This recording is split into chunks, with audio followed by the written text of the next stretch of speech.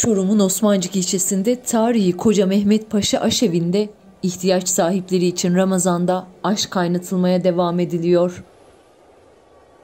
Günlük 1500 kişilik sıcak yemek hazırlanan aşevinde 594 yıl önce başlatılan gelenek Osmancık Belediyesi'nce yaşatılıyor. Aşevinde her gün hazırlanan 3 çeşit yemek iftardan önce belediye personelince 500 haneye ulaştırılıyor.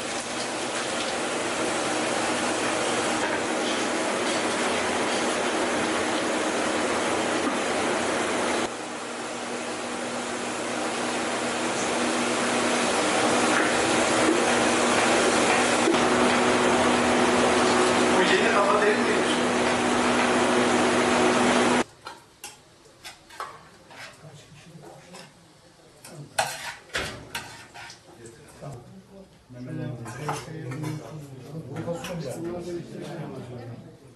600 yıldır devam eden Ramazan'da gariban kardeşlerimize dağıttığımız yemek dağıtımına başladık.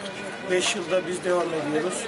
Yaklaşık 1500 kişiye her gün 3 öğün, 3 çeşit yemekle vatandaşımıza ikram ediyoruz. Personelimiz hane hane dağıtarak vatandaşımızın hizmetine devam ediyor.